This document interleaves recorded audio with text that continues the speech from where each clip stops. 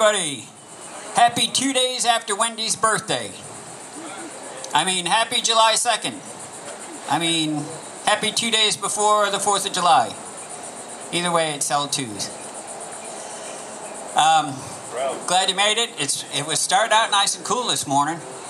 We have some uh, couple of things in the way of business. A reminder that the men's breakfast has been moved to 8 a.m. at the Potbelly Deli on Mondays. 8 a.m. It's on the front of your bulletin, also on the back.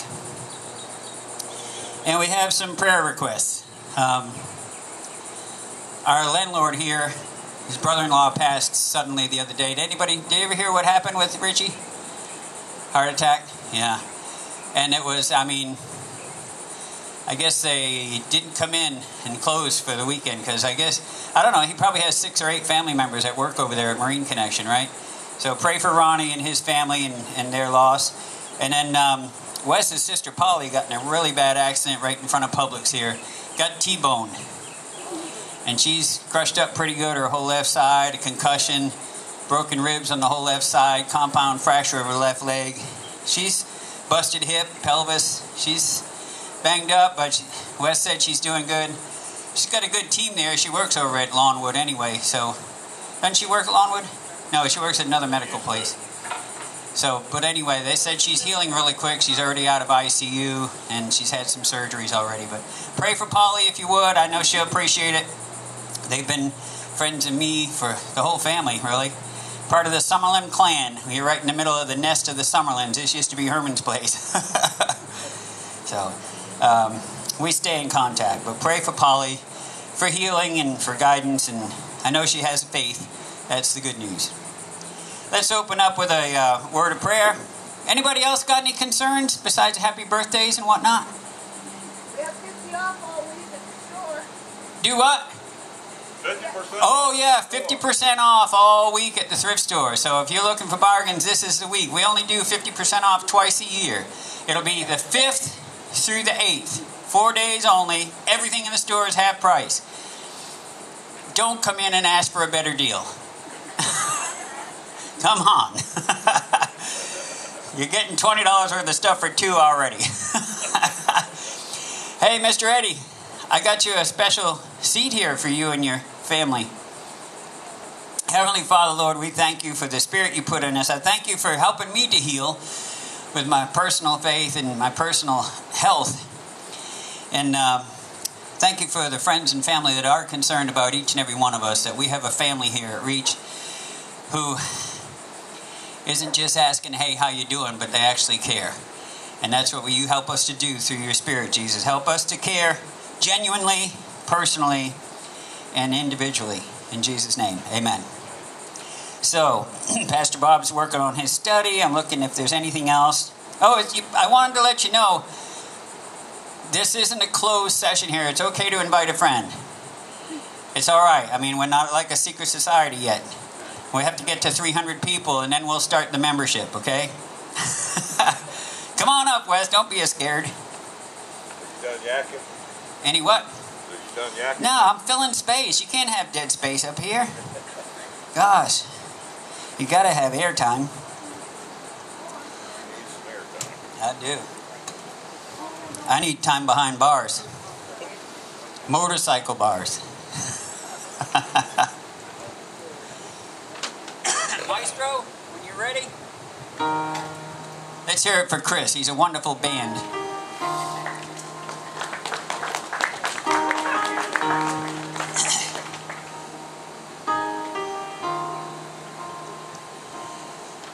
Amazing grace, how sweet the sound that saved a wretch like me. I once was lost,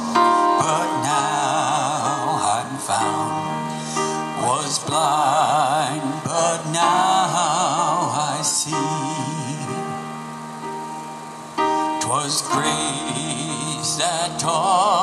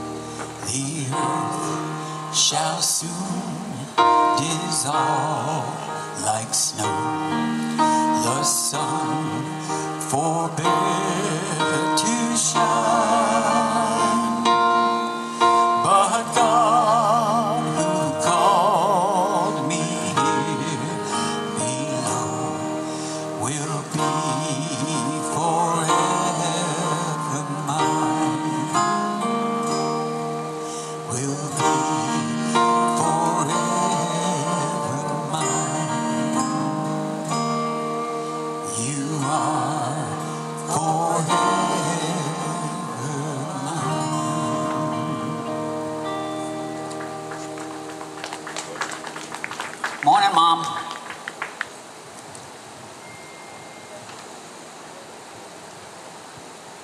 All right, it's a long break. We're going to do a more modern song.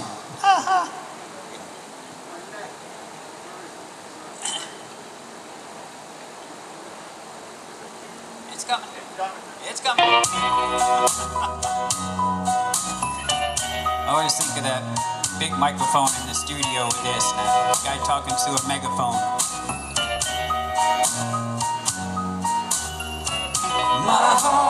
belongs to only you. I never loved as I love you. You set a flame within me burning.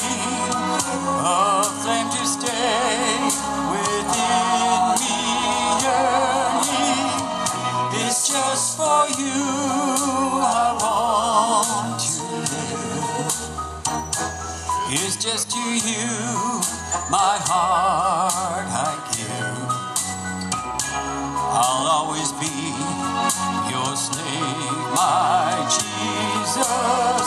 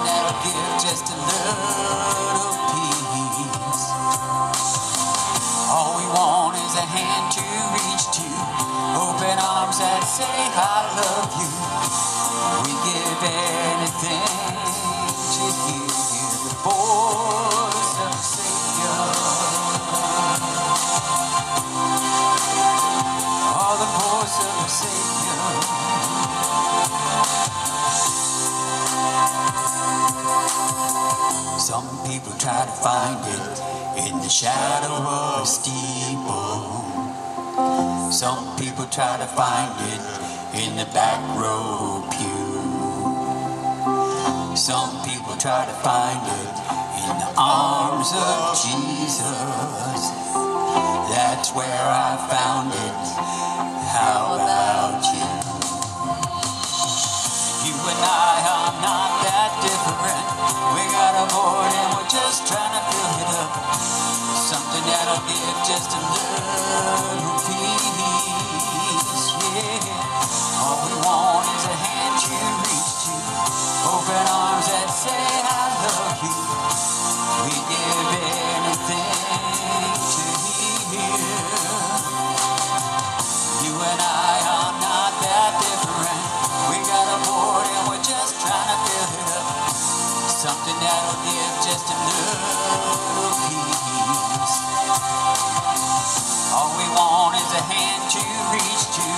Open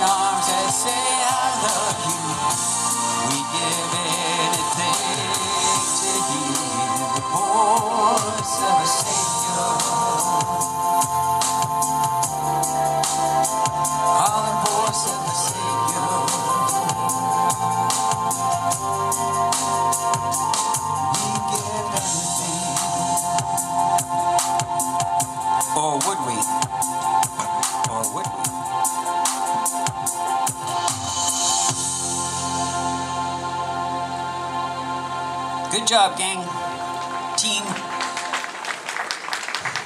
That's a good question. Would we give anything? Um,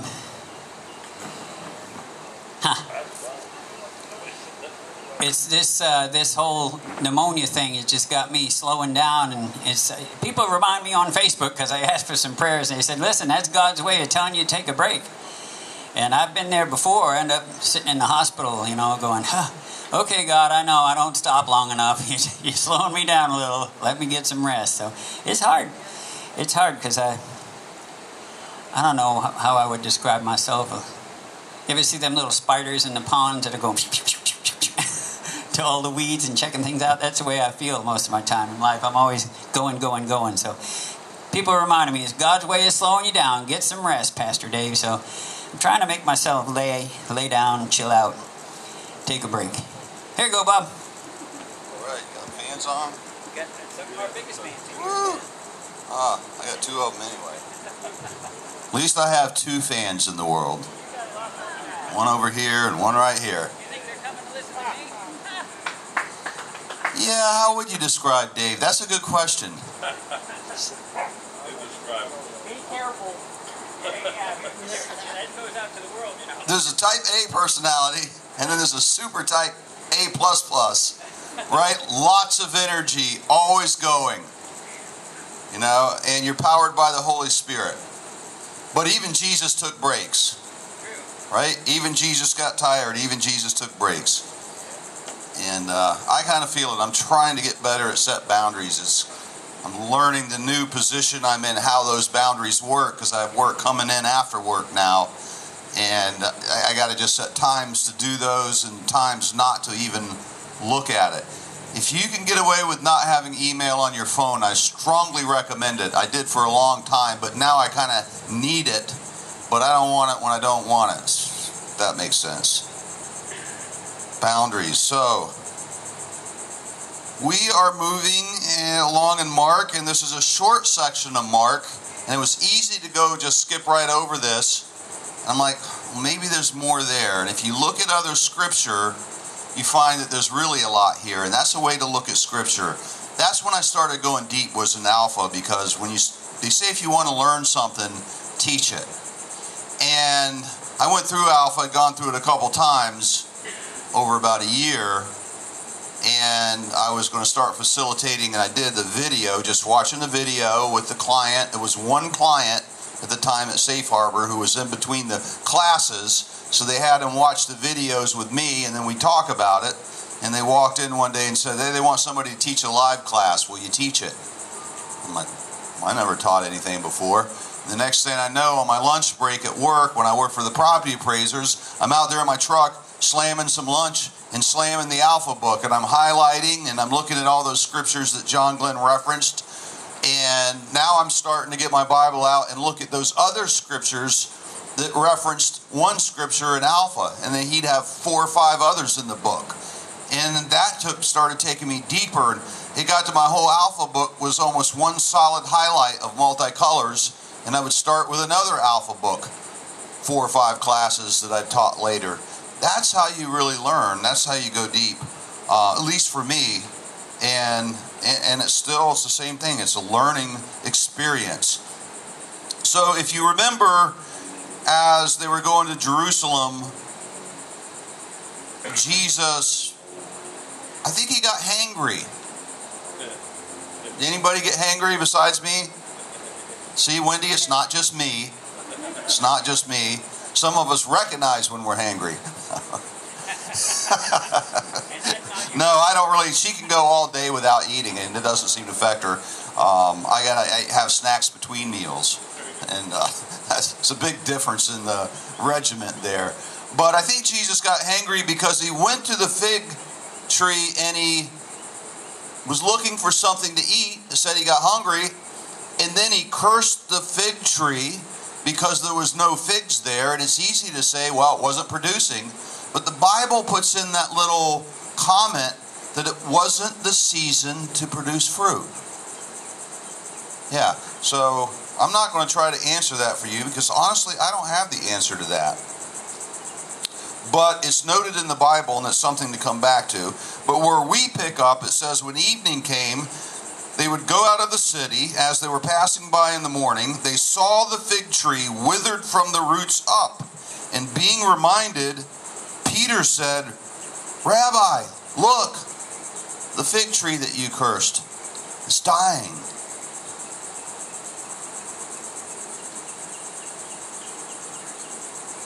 And Jesus answered, saying to them, Have faith in God. Truly I say to you, whoever takes up this mountain, says to this mountain, Be taken up and cast into the sea, and does not doubt in his heart, but believes what he says is going to happen, it will be granted to him. Now that's a different kind of prayer. Please, God, please do this. Please save this person. Please make this person well. Please make this happen. All these things we go to God and we throw out our list, kind of like if we had a genie in a bottle. We throw out the list, make this happen. But are we believing it? Are we believing it in our heart? He seems to tie something together here faith with our requests.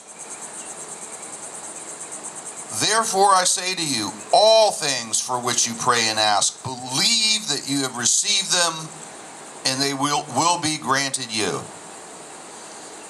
Now, I think some ministers with the prosperity gospel take that maybe too far because we start, you know, name it and claim it, and we need to reel ourselves back in. What are we? Are we spending time with God?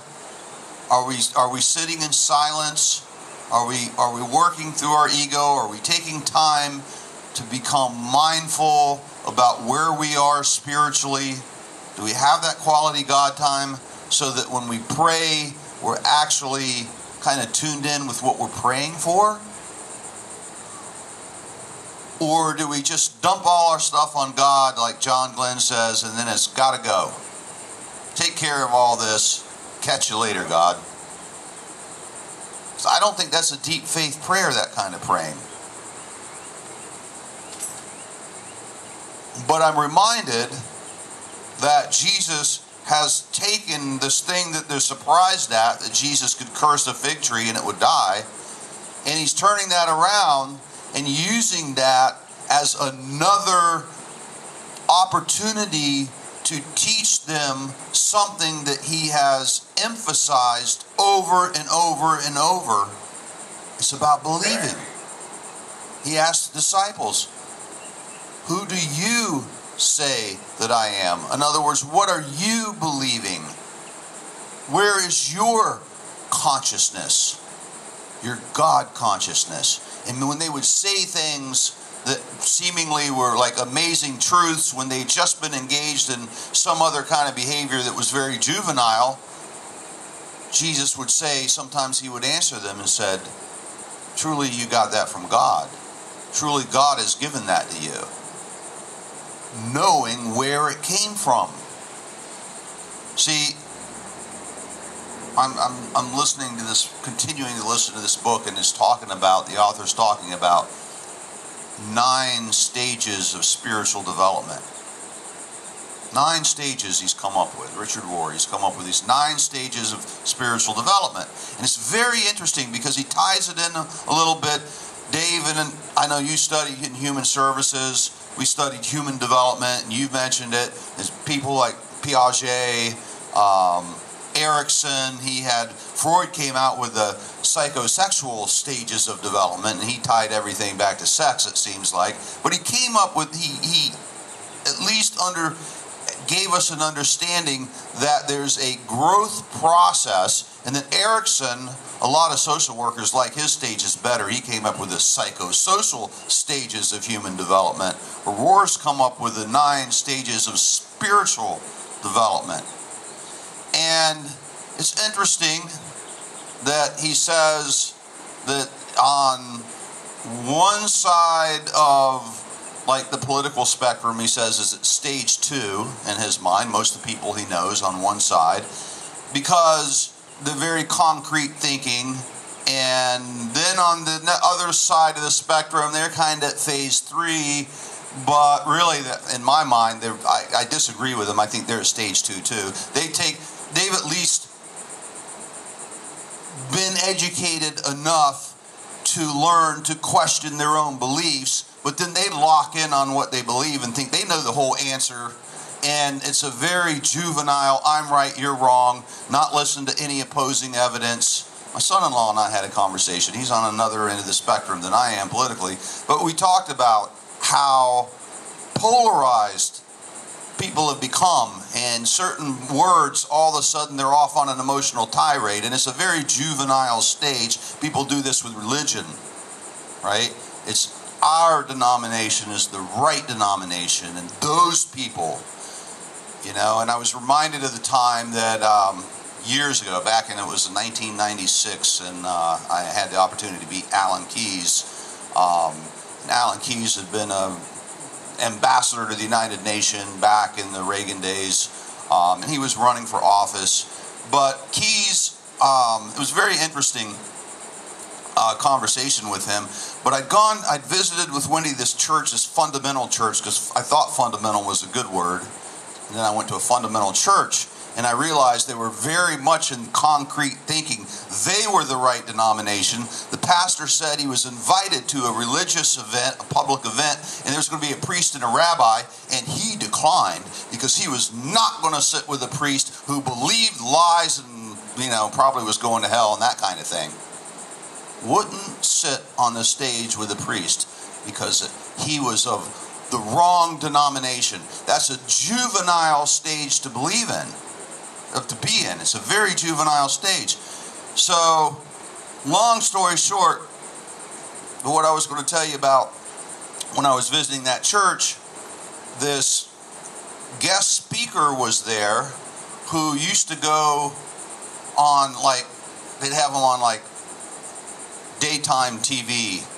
Uh, Jerry Springer, that was one he went on a lot. Jerry Springer, he would have him on because this fundamental, you know, he was a fundamental Christian, and we were talking about things, and we were talking about politics, which is a dangerous thing to do. And I was telling him, you know, we are talking about Alan Keyes, and he, he looks at me, he goes, "You know, he's Roman Catholic." I was like, "No, I didn't." I feigned surprise. I didn't know how to answer him. I'm like, "My goodness." I, I'm not going to even be able to talk to this guy.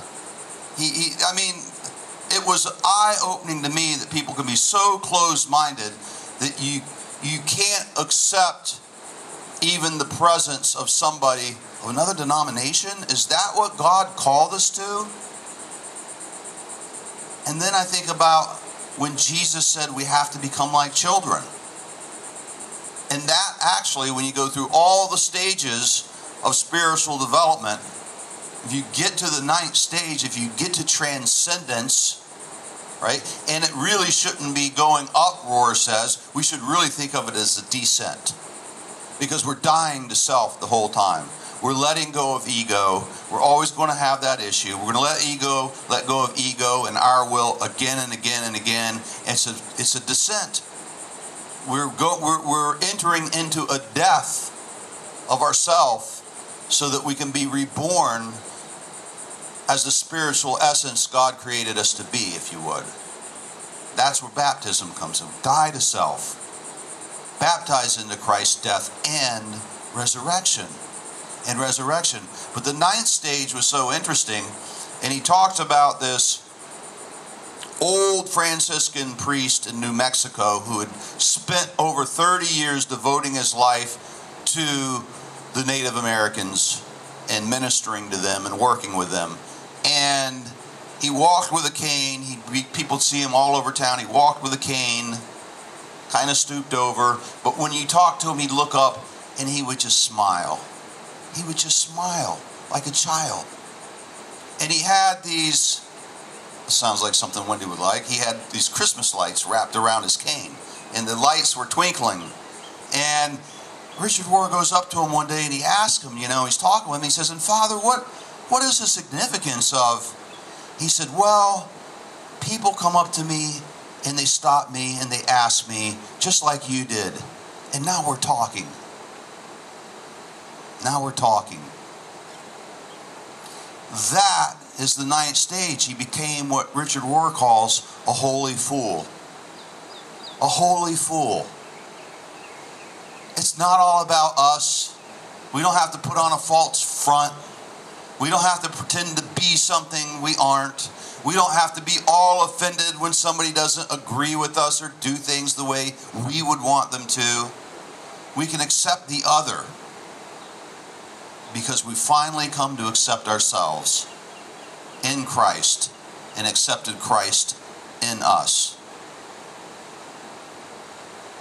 Believe. Believe that you have received. Know that you have received.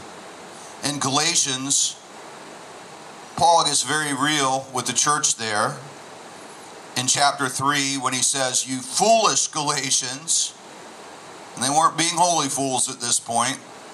Who has bewitched you before whose eyes Jesus Christ was publicly portrayed as crucified? This is the only thing I want to find out from you. Did you receive the Spirit by the works of the law? Or by hearing with faith?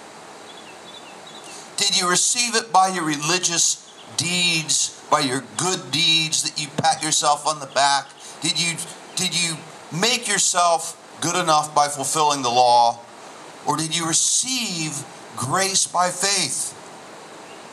Having begun by the Spirit, are you now being perfected by the flesh? I joined a grace group. I'm trying to lessen my time on Facebook. It's so easy to get distracted, pulled in, all these different things. But there seemed to be this really cool grace group. I don't even remember the name of it. And then I got this thing this morning. She she tagged everybody in it, and it was about funny. It's some rules. It's, it's a grace page, but I get what she's going. She's wanted to make it clear that she no fundraisers because she can't authenticate the person that runs this the fundraisers herself no putting youtube videos and teaching on just honest sharing yourself about grace and don't make any posts about how wonderful grace will be if you do some stuff. Pretty simple. I'm like good for her. She says it's grace plus nothing. That's what this group's about. And I, you know, I hope it works, but I think there's a good chance for some people to learn about grace there because it is grace plus nothing. I mean, if you want to add anything at all, if you want to add anything, and I would say you get the opportunity to believe it or not, you get to choose. You can choose it or you can reject it. Was Christ enough? And that's what Paul's saying to the Galatians. So then, does he who provides you with the Spirit and works miracles among you do it by works of the law or by hearing with faith? Even so, Abraham believed God and it was reckoned to him as righteousness because he believed. Believe in God. That's what Jesus is telling the apostles. Believe in God the scriptures foreseeing that God would justify the Gentiles by faith, that's us, justify us by faith, preach the gospel beforehand to Abraham. Beforehand what? Before the law was ever given. 430 years, give or take a few. 430 years before the law was given. So then, those who are of faith are blessed with Abraham the believer now that no one is justified by the law before God is evident, for the righteous shall live by faith. However, he goes on, the law is not of faith. And that's one of the reasons God gave the Israelites the law. They weren't ready to live by faith, they weren't choosing to live by faith. He gave them the law to give them some structure so that they could be civilization, that they could become a civilized nation out of this these this group of tribes so that ultimately one day from them would come a savior that would bring grace to not only them but to the whole world. Christ redeemed us, he says, from the curse of the law, having become a curse, for it is written, Cursed is everyone who hangs on a tree, in order that in Christ Jesus the blessing of Abraham might come to the Gentiles, Gentiles, so that we would receive the promise of the Spirit through faith. As much as we see the law and the administration of the law in the Old Testament, how much more do we see faith even in the Old Testament? When we studied the Old Testament a while back, if you remember, we were in it for a long time. We went from Noah, who believed and built the ark and saved his family, to Abraham, as Paul just wrote about here, who believed and moved, and he made mistakes and he did stupid things. He tried to pass off his wife as his um, sister twice so that a king could have her and it might not get him killed because he reverted to fear. He was living in fear. And God got him out of there before anything happened twice and sent him packing with more blessings than he came in with. Grace. It's all about unmerited favor. Unmerited favor.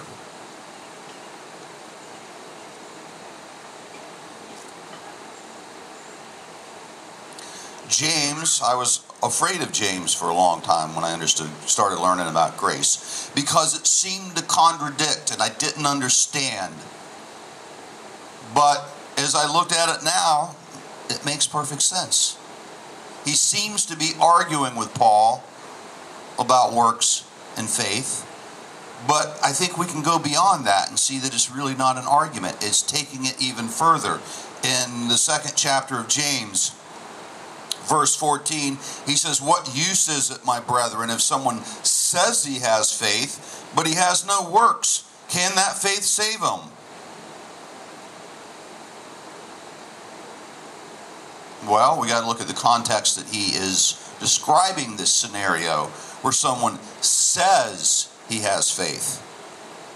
For the next sentence, he says, if a brother or sister is without clothing and in need of daily food, and one of you says, Go in peace, be warm, be filled, I'm going to pray for you, brother or sister. And yet you do not give them what is necessary for their body, what use is that? What use is it? Even so, faith, if it has no works, is dead, being by itself. Believing saves us. Believing allows God to unleash His power in our life. Because God chooses to give us free will so that we get to decide if we want to run our life or if we're willing to let God do it. And what James is saying here is that if you are living in faith, if your life is spirit led, there's going to be differences in what you do. You're not going to be okay with a hypocritical nod to somebody and offering somebody a prayer, knowing that there's a need that could be met that you could actually meet. Doesn't mean that we go around and try to do works to earn our salvation. That's that's religion. That's not relationship with God. But when we grow, when we decide to believe, when we accept Christ as our Savior and turn our life and will over to Him, then things are going to be different. When I started learning about grace is when I actually started doing something in ministry.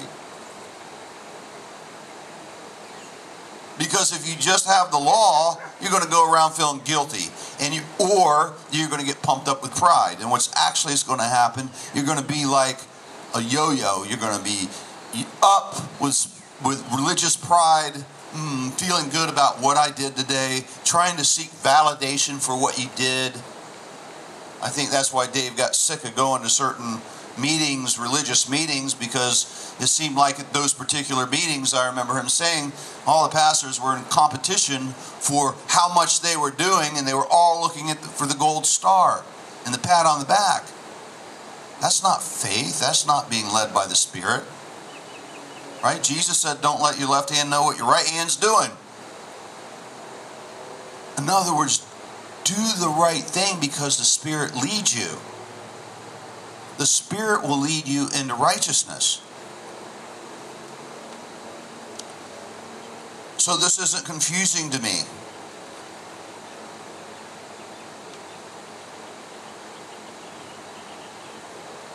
But are you willing to recognize, you foolish fellow? James's words. That faith without works is useless. Was not Abraham our father justified by works when he offered up Isaac his son on the altar? You see that faith was working with his works, and as a result of the works, faith was perfected and scripture was fulfilled, which says, And Abraham believed God, and it was reckoned to him as righteousness, and he was called the friend of God. The best example I got of this was when John Glenn said that you can have faith that that empty chair over there will hold you up. You can believe it. But until you get up, walk over there, and sit your butt in the chair, you have not exercised faith. And that's what James is talking about the exercise of faith. Because if you really have faith, there are going to be times when you're going to exercise it. It's not going around feeling guilty, doing something for the wrong motivation. Know that you're righteous, and your righteousness comes from God.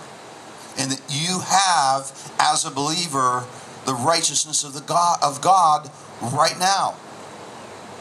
When I feel good, when things are good, thank you, Lord, thank you for these blessings. And when I feel, huh, kind of feel down, kind of feel disappointed, kind of feel frustrated, God is still God.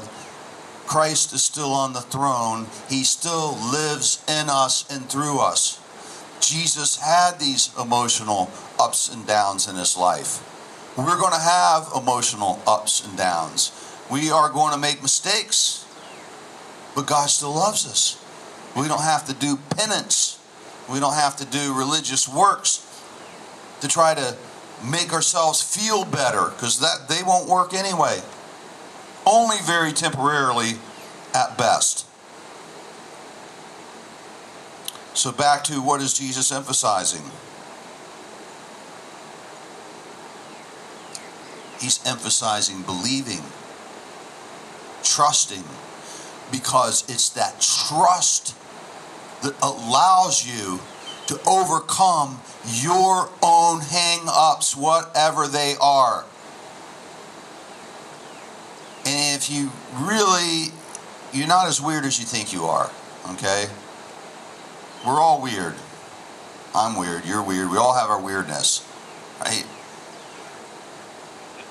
But I have found that almost everyone I know has their own weirdness too and God will get you through it. I remember, listen, with my anxiety, I did not like to stand in long lines. And when I felt led to start college at 45 years of age, God gave me the ability. I remember thinking, today is the day I go sign up. And there was a line like you wouldn't believe. And I'm like, you know what? Today, the only thing for me to do is to get signed up. Everybody asks me, what classes are you taking? How long is it going to take? I don't know. I don't know. Today I'm going to go sign up. And I went and stood in the long line just to get on the list so I could go sit and wait for much longer. And I was okay with it because God gave me the peace. And then I got to see the guidance counselor and get signed up. And it was the time, the first day of school. Just show up. And God gave me that attitude every day. Just show up. There was very rarely a day I didn't actually want to go. Wendy will tell you, I didn't skip classes. very unlike my high school experience many years before. I did not skip classes, I did not cut classes, I did not jump the fence. I went to school and I wanted to learn, and I went home and I did my homework. Because God gave me the mentality, and I'm not the most organized person. I remember this girl, this young woman in my English class, she had this three ring binder notebook with all the classes separate, all her papers in plastic sleeves. And I'm like, my goodness, I wish I could be that organized. But I had one notebook for each class. One notebook for each class. So I'd take my notebook, my books, and go to class. Got the little backpack and go.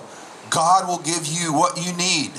I didn't have the spotlight way down telling me where I was going to work.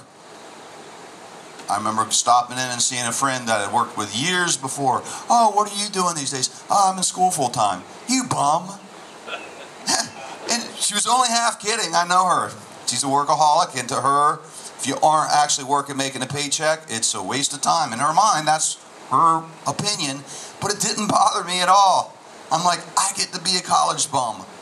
And I work very hard at it because God, when He gives you, now back up 20 years. I'm drinking and partying. I'll go to class tonight.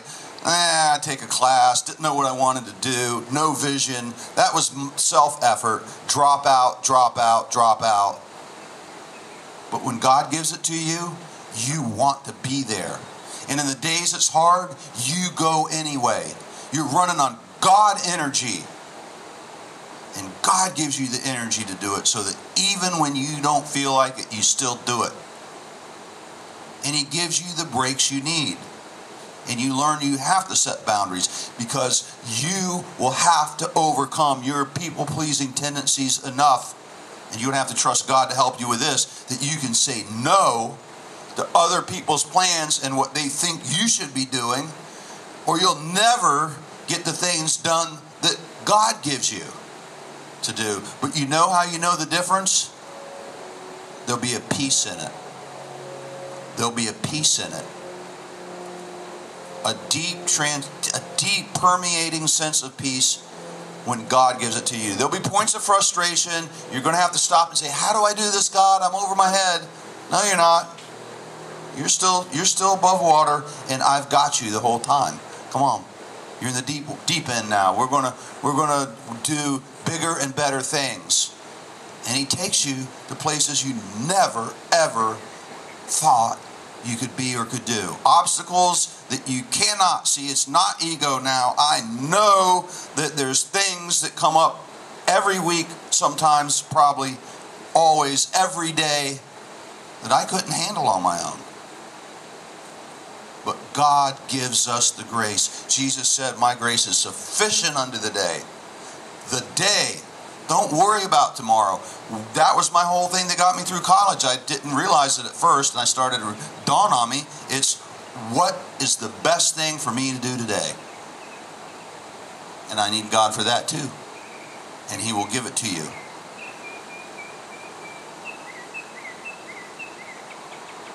So, the last thing I wanted to share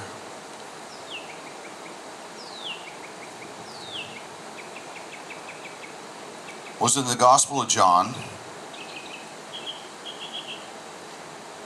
And it says in chapter 20 so when it was evening on that day, this was after Jesus' death, the first day of the week, and when the doors were shut where the disciples were for fear of the Jews, Jesus has been crucified. They're hiding out. They're scared. Jesus comes in, and what does he say? You dirty dogs, you deserted me. You don't say that. Peace be with you. Over and over. He knows how scared we get. Peace be with you. And when he said this, he showed them his hands and he showed them his side where the spear went in. Yeah, it's me. It's like that's what he was saying. And he reiterates, Peace be with you. As the Father has sent me, I also send you and he breathed on them and said, Receive the Holy Spirit. Remember, he said he was going to send the Comforter? Wow, Jesus is already coming through on his word. But Thomas, one of the twelve, was not with them when Jesus came, so they're telling them, right? We've seen the Lord. But he said, Unless I see in his hands the imprint of the nails and in his side where the spear went in, I will not believe.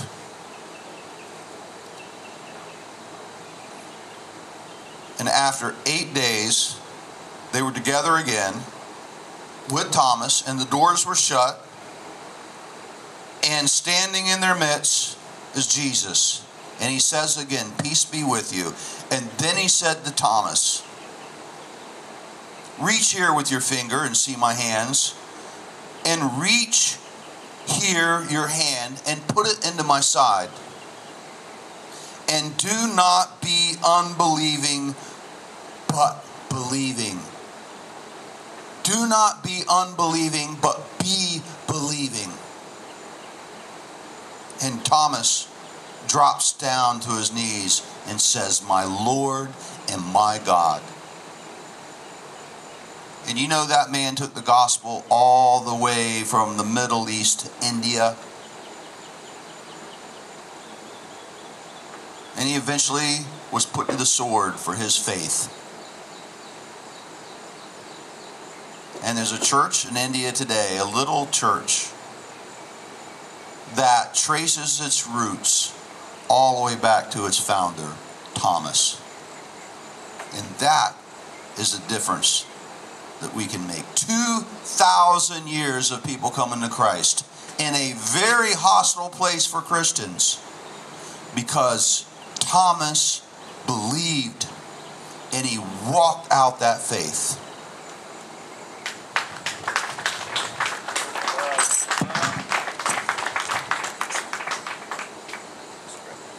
Another excellent message from Pastor Bob. See, he thinks people come for me, and I don't think so. He's become a really great teacher. Um, it's something that Bob mentioned. You know, when you when you're acting in faith, the result is peace, and um, that becomes part of what I used to minister all the time, and I still do.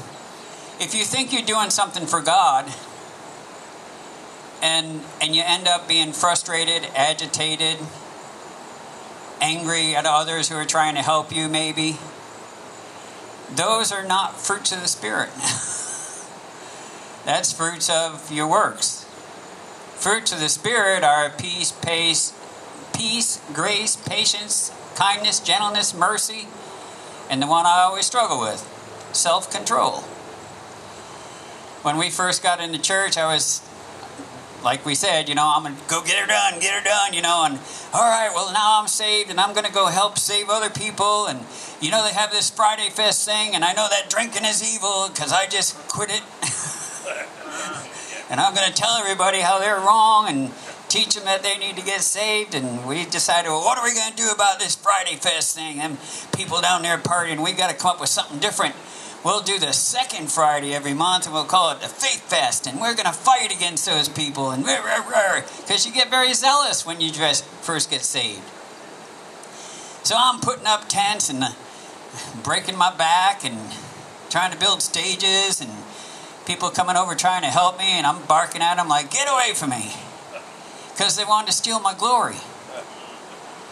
And I didn't realize it, but it's a lesson I needed.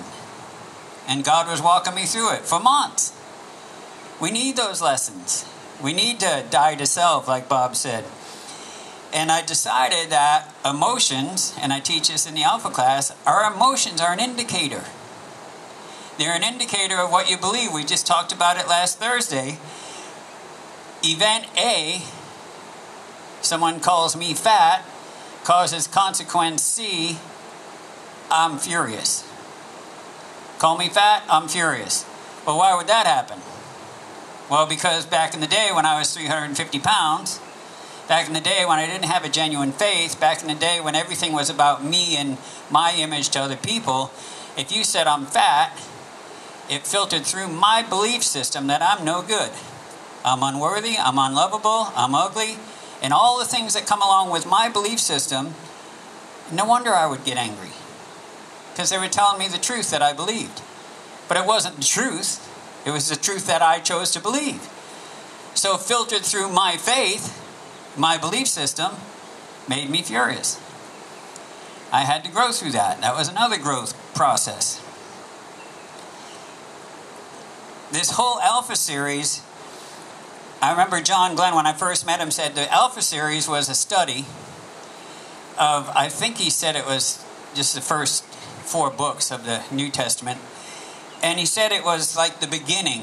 It was going to be 12 chapters about Matthew, Mark, Luke, and John, I believe is how he put it, but I'm not sure. And he said, and I really want to do the Omega series because what I began to do was every chapter of the Bible, including the Old Testament, I wanted to break it down into 12 chapters to prove that each chapter supports what I already learned from God in the Alpha series that it's about faith, it's about believing, it's about trust. It always comes back to Jesus. Always, always, always. Even in the Old Testament, living through belief. And what we do, and what I've often done, and I'm sure everybody else has, is what Bob said you know, that prayer pray for this, pray for this, pray for this, pray for this. Never believing, never really trusting that it's going to happen, but boy, we hope it does. I think faith gives us hope. But uh, does it give us security? Are we sure? Um, Miss Young Lady, I set a table up here so you'll be in the shade if you like. Okay. All right. I didn't want to say any names. but I love you. um, I called it a vending machine prayer. God, get me a new truck. God, get me a new job. God, bring me some money. God, help my wife get right so I can control her again. if she would only figure it out. Took her nine years to realize I was right. She said it once after nine years of marriage. She goes, You're right. And I went, Who are you? I've been telling you that for nine years. anyway, enough about me. What do you think about me? Yeah. So let's fill in some blanks. Um, oh, by the way, I don't know if Bob emphasized it quite enough like I would have, but Jesus told them, Believe you have received. Have already. Past tense. You have already received all the gifts of the Spirit. We're stuck in time. God isn't. We are already seated in the heavenlies spiritually. Our body's stuck here. I can't wait to go home. This thing goes away. Throughout his ministry, Jesus emphasized faith. Nicodemus learns that God saves those who believe. I think he saved me when I didn't believe. I think he came looking for me when I was ready to take my life. I think he came looking for me when I was struggling every night for months, crying myself asleep. I think he was there waiting for me to give up. Okay, I'm done. I, I can't do this, God. And the words, simple words that I heard, if you want my help, all you have to do is ask, change my life. That's what happened, and that's what I did, and that's my story, and nobody can argue it. And my life changed.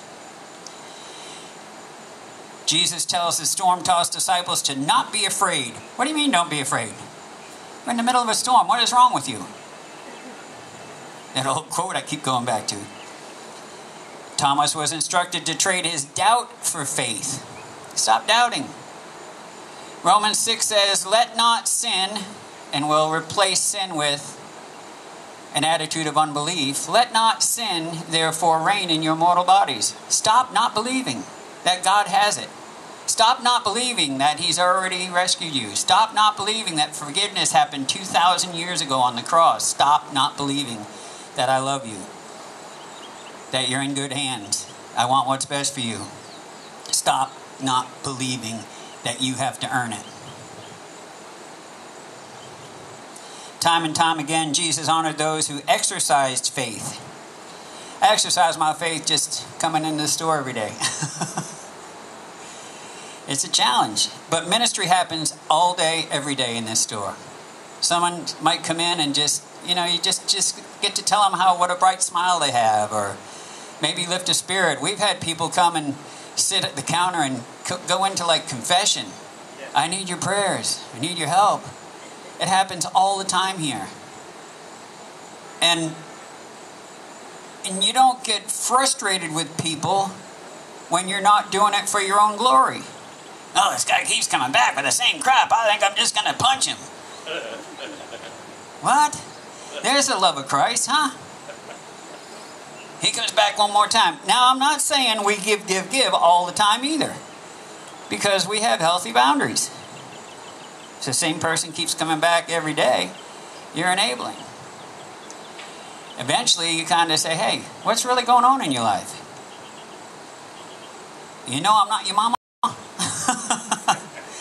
I mean, sometimes you just got to get honest. What are you doing to help you?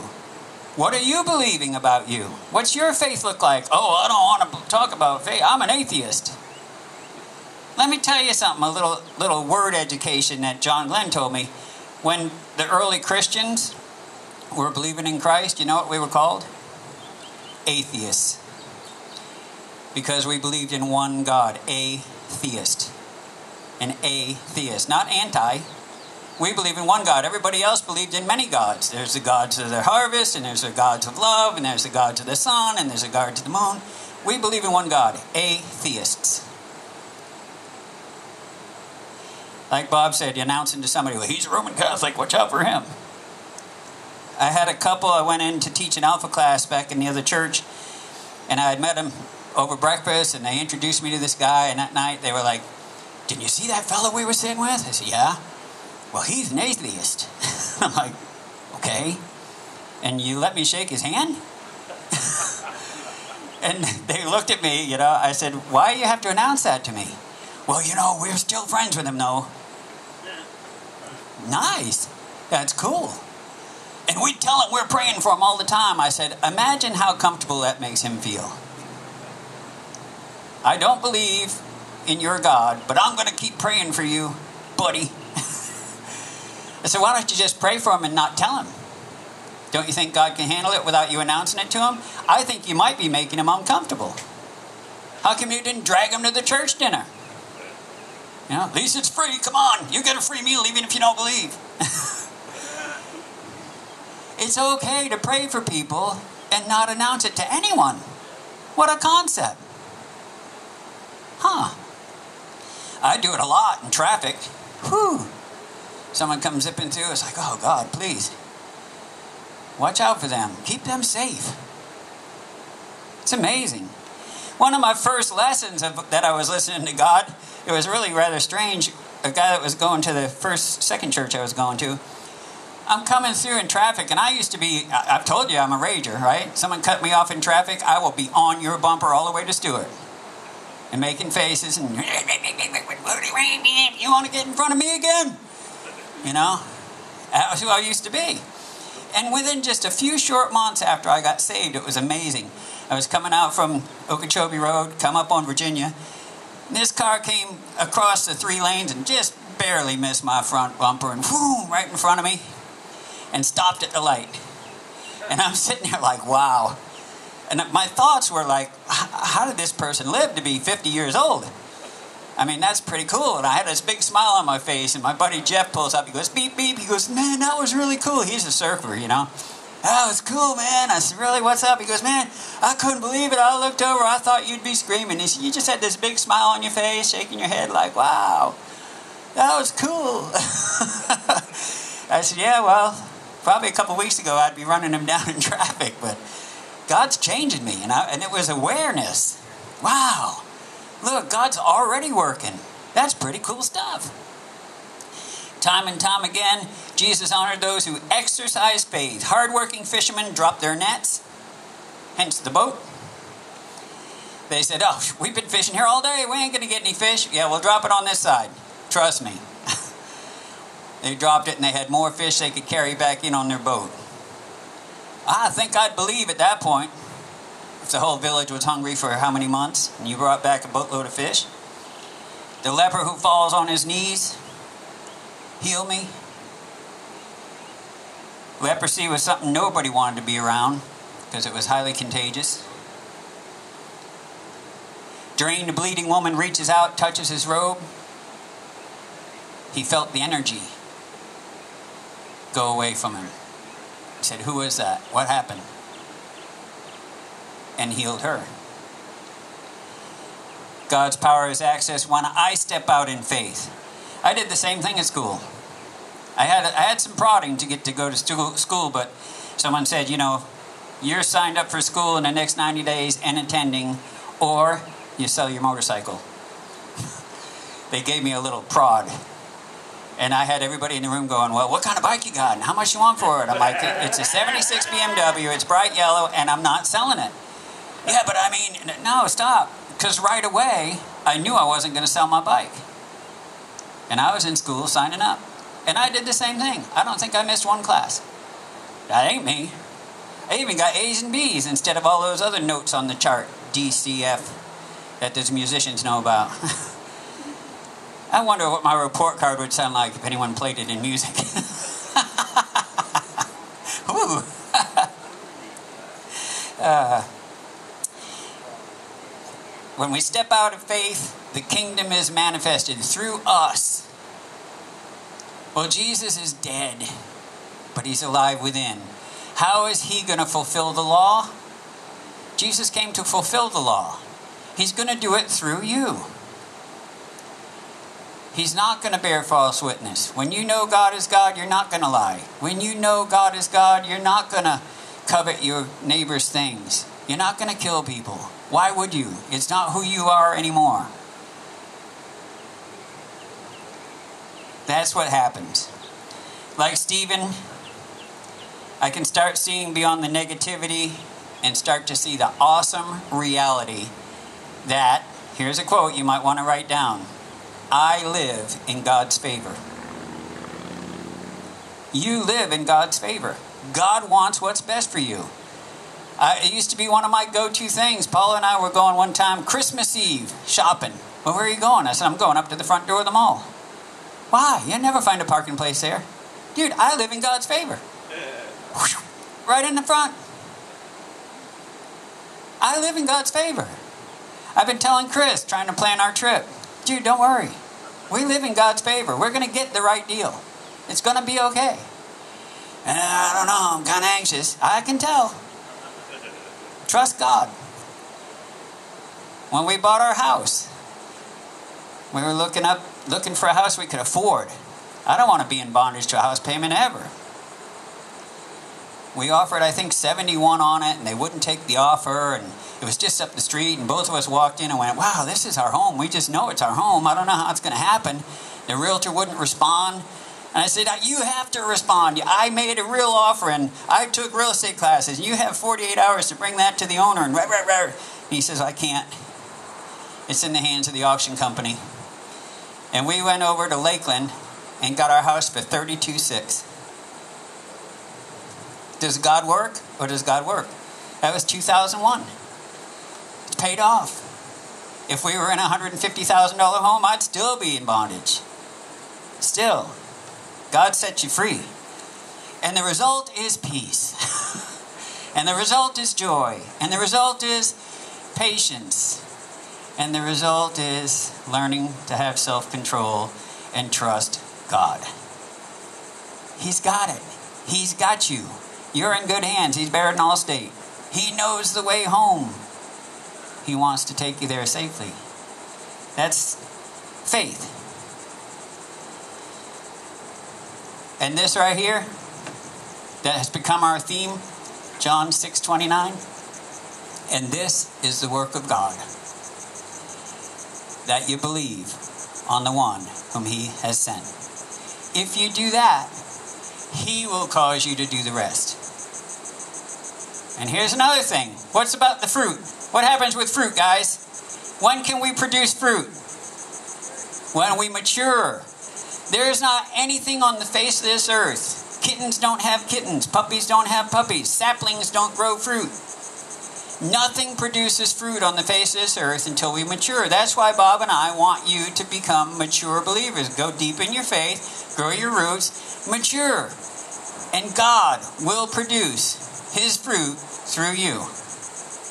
It's a promise. I'm, I'm a prime example. People who knew me up in Maine and knew me in my party days here, you're a preacher? You? Yeah, God can change people. look what he did to this mess. So let's close in a word of prayer. And again, more than anything, Father, we trust you. We're going to continue to stop not stop letting unbelief reign in our mortal bodies. Father, help us to see your goodness. Help us to know that your goodness is there. Help us to know that we live in your favor. And you will change our wants, allow you to change our desires, allow you to change our actions, and allow you to adjust our attitudes to one of perfect faith, believing that we have already received everything you have for us in God's grace. We pray in Jesus' name. Amen. And I, much as I hate the little cliches I hear all the time, God is good. And everybody yells all the time, and they go all the time, God is good. It gets worn out, but it's true. Maestro, strike up the band. And there is communion offered in the back under the shade sail.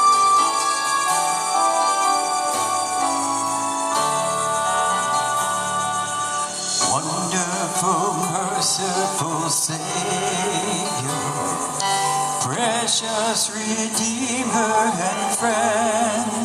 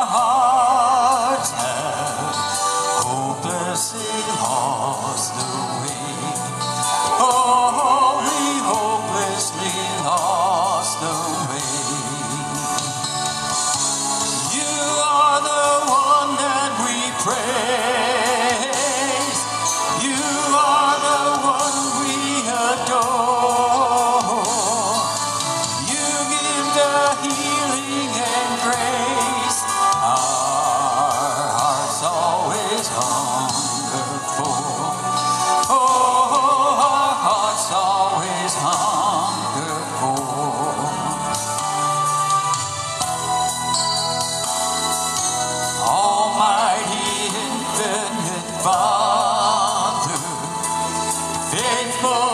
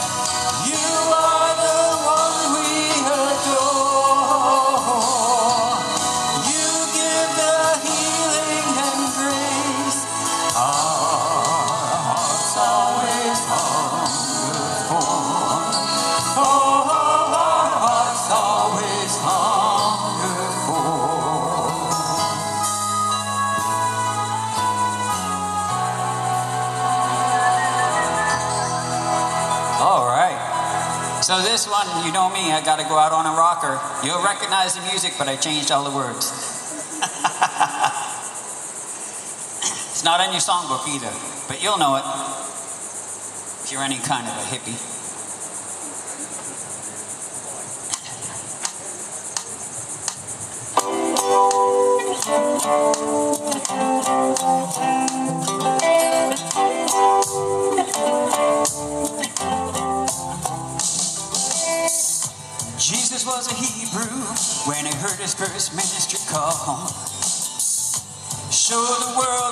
Wasn't from there it didn't take him long.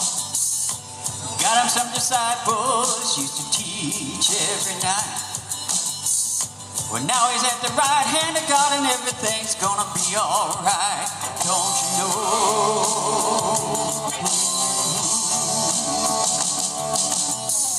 Well, Jesus told his mama, Hey, mama, I'm going away. I got a big job to do, gonna be sacrifice one day. Yeah. Mama came to the door with a teardrop in her eye. And Jesus said, Don't cry, mama, smile and wave goodbye. Yeah. Uh-huh. Don't you know that you are a child of God?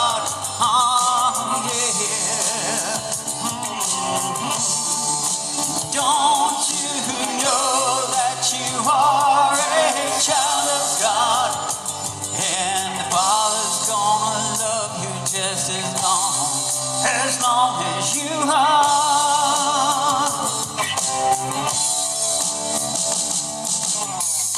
Jesus was so humble, didn't want to be number one. Suddenly everyone loved him and they wanted to follow along. Watching the world go by, not surprised they were all so lost. Jesus looked around him and said, I'm gonna be the one who pays the cost. Uh-huh. Yeah. And don't you know that you are a child of God? Yeah, yeah. Uh-huh. And don't you know that you are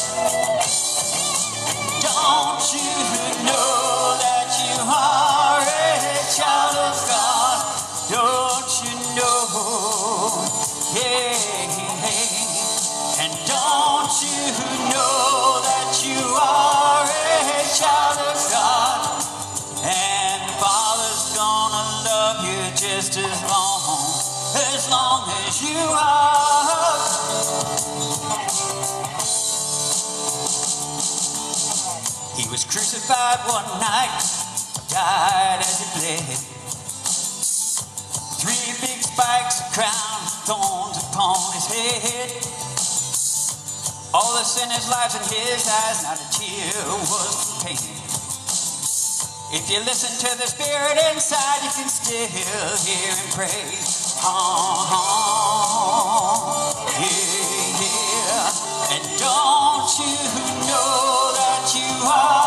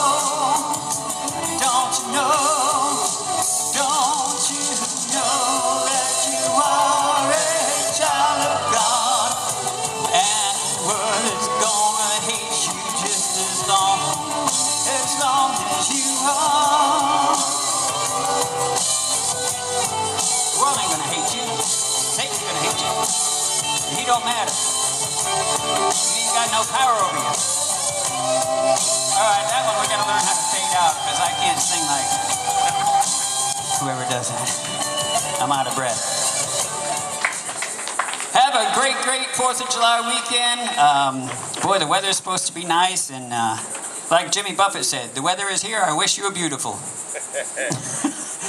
God bless you.